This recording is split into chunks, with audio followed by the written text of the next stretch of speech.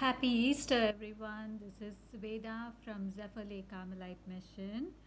I just wanted to spend some time since I have not recorded any videos for more than 45 days. I wanted to just uh, share with you some of my Lenten experience and also wish you a happy Easter. Hope you all had a blessed Lent and enjoyed your Easter Sunday with your family and friends. Um, so, this Lent, I had deliberately kind of set aside everything, all my engagements, all my Zoom meetings, and other commitments to spend time in solitude uh, and as much as possible in silence and in prayer to discern and to allow and be present to God so that He can bring about the transformation that I've been expecting or praying for and hoping for, and especially with respect to my prayer life and my fasting and the almsgiving. So, the end of Lent and with Easter, I can say I have definitely made good progress. I wouldn't say I have clarity on all respects 100%, but definitely I have made a step in the right direction in all these three areas of prayer, of penance, almsgiving, as well as fasting. And I'd like to share some of the things that I experienced. And usually I write down notes and I record multiple times, but I've decided I'm just going to do extempo, which means unscripted, off the cuff. And so bear with me if it is a little bit long, but um, I hope you will benefit from my experience. Um, and God was truly present. He guided my day every day. It was uh, like a going through a, a personal spiritual guidance from Jesus Himself, you know. Every day had beautiful uh, insights, but more than the insights, I think personally I have grown this last 46, 47 days. Um, so, the first thing I'd like to share is that God revealed to me some of my own weaknesses you know my some of my tendencies. And uh, he pointed to me things where I, where I need to change. So that was something that I knew but it came very clearly uh, as an example with respect to being patient with being tender with being uh, calm you know things like that which are uh, sometimes you know comes naturally but in other circumstances they don't come naturally.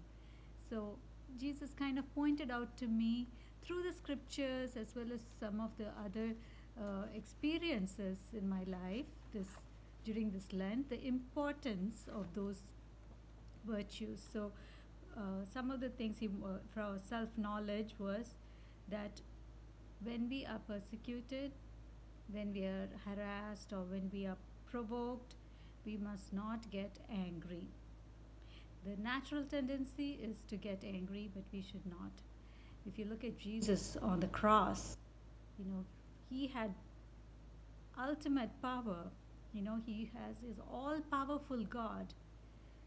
But when he was being tortured, he didn't use his all his power, his divinity. He didn't use any of his divinity.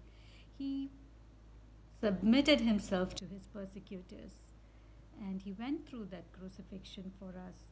But when we get offended or harmed we immediately want to like you know say god's justice on them. But no that's not what god wants of us. God wants us to say what jesus says which is father forgive them for they know not what they do. So that was one.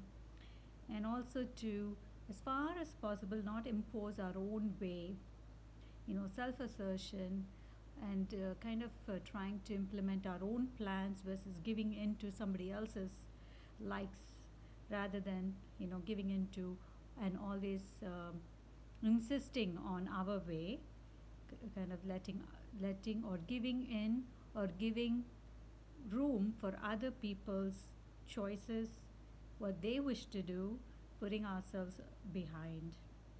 And of course, with fasting, we address the sin of gluttony.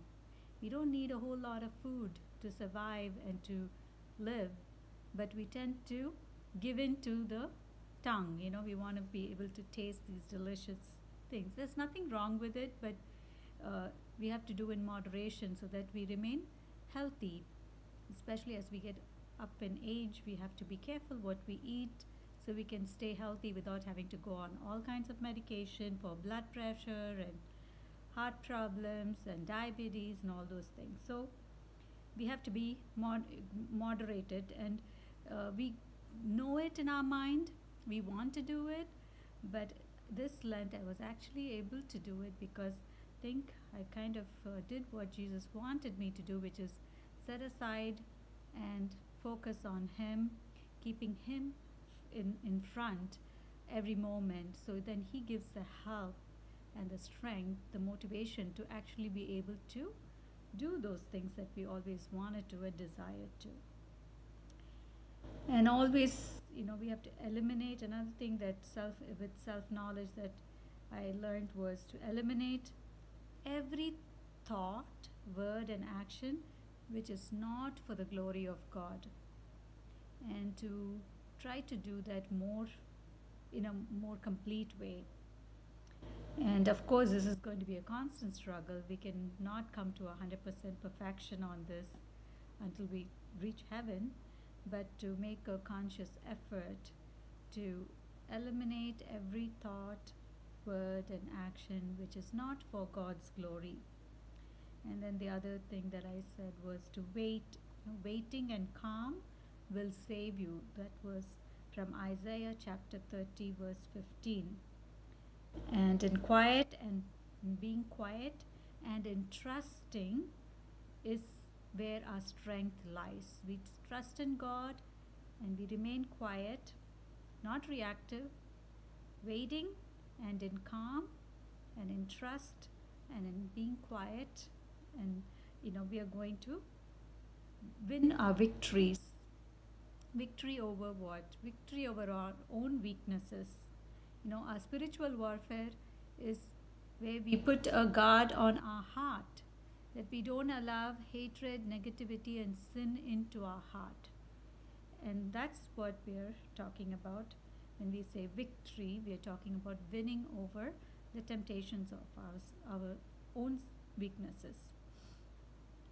And every time, as we said, we pray, you know, God transforms us. Every time we open ourselves to God, He transforms us in prayer. And every time we open ourselves to God, He transforms us so that we can keep our faith in Him and to be able to overcome our temptations and our weaknesses and to actually develop a contempt for vain glory and for money and all those things you know things that worry us about what do we wear what do we eat what do we where do we live all those things you know having a contempt and kind of just resting and being quiet and trusting that god's going to provide for what we need when we need it and how we you know uh, how we should uh, receive those things. He will show us everything as we trust in Him and do our little bit of part of trusting and doing what we can. And with respect to prayer, you know, there are so many good things out there that we can be engaged in, but prayer is it, it is the crowning jewel of every every other activity.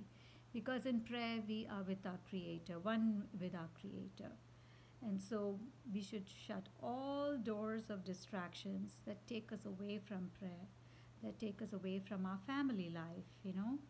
Um, and we should learn how to fast better how to share better. We can do all that if we uh, shut the doors to all the distractions that take us away from our prayer life and from our family life. And if you're working, obviously, those uh, work commitments. So, our duty should be first, and then we can serve others and we can interact with others and socialize. But until we are at peace and we are doing the basics of our prayer life and our individual prayer life, our community prayer life, and our family life and our work, we cannot truly give of ourselves to others who need of us. And we have to forgive. We have to forgive our family, our friends, and we have to let go. We cannot hang on to hurts of the past. Another thing that came to me very strongly on Easter Sunday was Jesus, um, you know, pointing out to me how there are going to be malicious and wicked people in this world who will want to harm us, especially those who are who are close to him. Because what happened to Jesus, you know, he was the perfect, he was perfection himself, God himself, but he was crucified. And so he, there was this deep, deep awareness or this deep uh, sense of, I'm not sure how exactly, uh, joy, deep, deep in my heart uh, on Sunday, Easter Day, saying, you actually have to rejoice and be happy. When malicious and wicked people harass you or reject you or you know torment you or uh, uh, try to cause you harm or you, you should actually rejoice because that's when you're more like me what i went through. And we should only be upset afraid or worried if we are doing something that that separates us from christ you know uh, but if we are being separated or if we are being harassed by people who are, have malicious intentions or wicked intentions, we should actually rejoice because uh, Jesus said that the world will hate you because you don't belong to this world. You belong to God's kingdom, not to this world. Not that everything in this world is bad, but there are going to be some bad elements. And we have to cu- uh, cultivate a heart, a content heart, a heart that is going to be content and satisfied with what we have. And God promises that He will protect us as the eagle hovers over its nest and protects its little ones. God Himself will protect us. You know, He's going to protect us and He will make sure that nothing will disturb us. And some of the things that also um, that was pointed out to me in my prayer was that virtue, you know, the practice of virtue will produce a certain mildness, a certain peace, a certain comfort, a tenderness in us, and a light, and a purity, and a strength, an inner strength.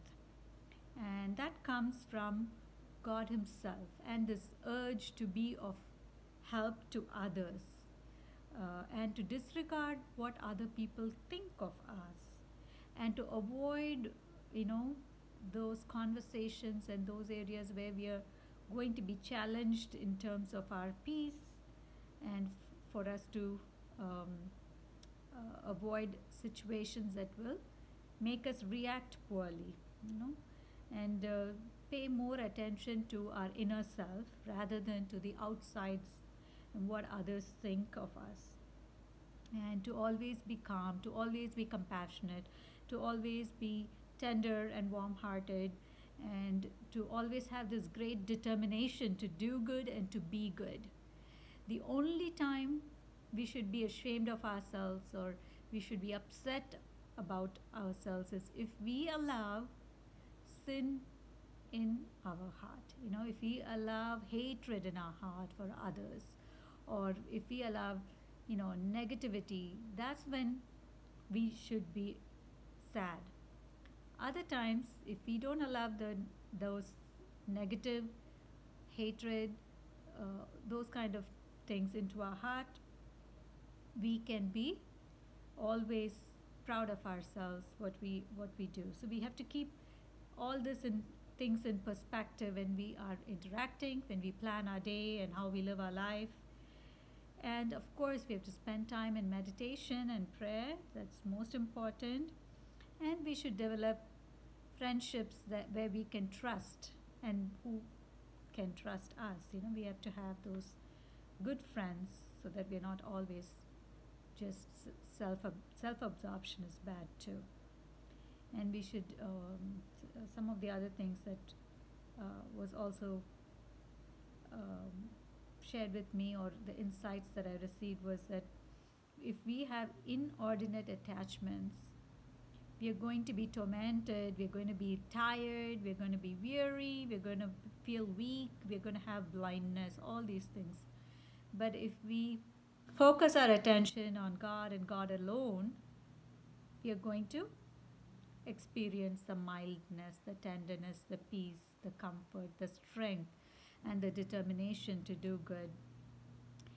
And also during this whole Lent, I have been um, led by Christ to watch some programs on TV uh, as well as on the internet that gave me more um, insight into the different religions of the world, you know, world religions. Even though I'm from India, I've, expo- I've been exposed to so many religions, but Jesus still wanted me to learn more and to learn from people who practice the other faith. Like I watched um, Dalai Lama, who gave talks on Buddhism, and then I watched um, program on B- BBC that uh, shared about the religions of India, which is Hinduism predominantly, and then I saw some Protestant programs and uh, Muslim programs. I saw the visit of Pope Francis to uh, the Ayatollah uh, Sistani, his house, and I saw how humble he was, how he lived humbly, such an austere life. And then, you know, Dalai Lama is such a simple, loving heart. And I've been watching many of the uh, Orthodox programs, listening to many of the chants by the Armenians. They always captured my heart. So, kind of, you know, to see there are so many good things in all the religions of this world.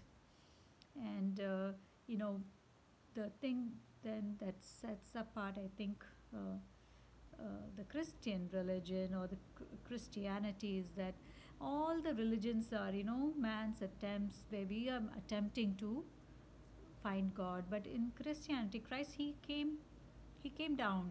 You know, he came down from heaven. He is the Word of God, um, and that's what we believe. And of course, um, we are not saying that uh, others uh, uh, who don't believe that will not be saved, but what we are saying is that that is what Christians believe is that you know all people have this urge for God, and we are all trying to understand and come to in union with God. And that's why Christ came to be united with us so that he became man, so that by our union with him, through uh, him, we get united to God. So we become one with Christ. We become one person with Christ. And as Christ is already united with God the Father, through him we get united. Because nothing unholy can be united with God. And as human beings, because of the fall, of Adam and Eve, we all have this uh, original sin. And in baptism, we get grafted on to Christ so that we become united with God. So that's our belief. So that's what I went through, you can say, a, a struggle, a spiritual struggle, or you can say just um, a spiritual thought process for several days, for a few days during Lent, uh, when I was looking at all these different programs, even also the Jewish faith as well. You know, in fact, we even celebrated um, the Seder meal. I watched the White House celebration of the Seder meal as well. So, um, but this is the difference that you know Christ kind of pointed out to me was, is that I came to you so that, you know, that is what's uh, the, the key point with Christianity. And further, what did I do? I had several moments where the scripture just came alive. Many days I would pray and I would open the Bible to get a passage for my meditation, and it would be right on point for either it would be the scripture passage for that day itself, or it was right on point for what I was praying for. And so, uh, you know, the living word of God, this written manifestation of the word of God, which is Jesus Christ, came alive during this Lent for me. And um, uh, there is so much I would love to share. And uh, the, there was this uh, moment when I had this meditation on palm trees and palm trees, uh, you know, which we see during Palm Sunday, where uh, when Jesus enters into Jerusalem, uh, the people put olive branches and palm leaves on the ground so that Jesus goes over that. And it's a symbol of victory. It's a symbol of victory of the spirit over the flesh. And it is a sign of life in unsurvivable environment. So in this world, you know, there's so many temptations, you know, so many things that can take us in all different directions. But if we keep our focus on God, we will be able, able to overcome those things. We will be able to enter eternal life with Christ. We can be a martyr. Martyr meaning dying to the things of this world and being alive and present to the things of it, eternal value.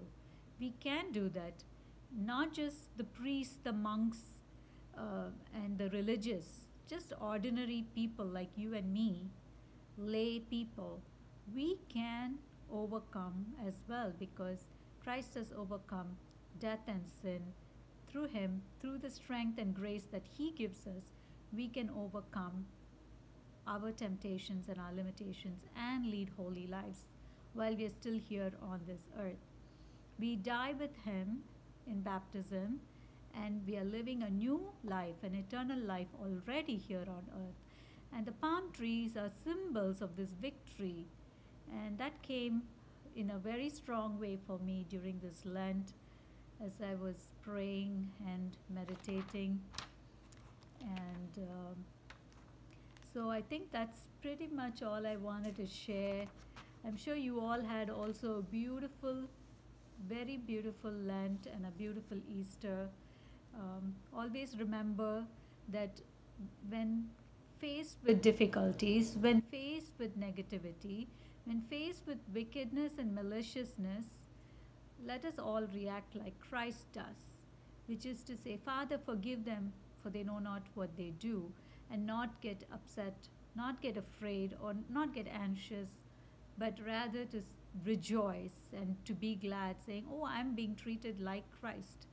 And so we should rejoice and be happy, and we should always learn how to be content, satisfied, and uh, putting the other person, other person's wishes before our wishes and uh, adapting. And it's a lifelong challenge to do this. But I feel this Lent, uh, God has transformed me. So I've taken one step closer to be able to do those things, maybe a little bit better than I was before 45 days ago. So that has been my experience. And with that, I want to wish you all again a happy Easter. And as we know, the Easter season goes on until Pentecost when we receive the Holy Spirit.